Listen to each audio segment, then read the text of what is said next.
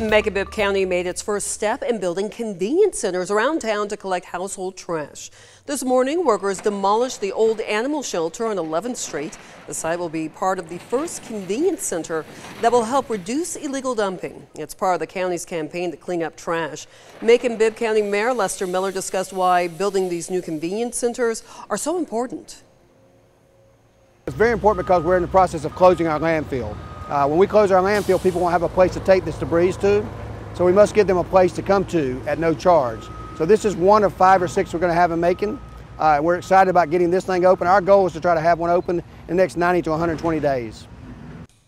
Mayor Miller says he promises to keep the county clean and will not sit back waiting for solutions.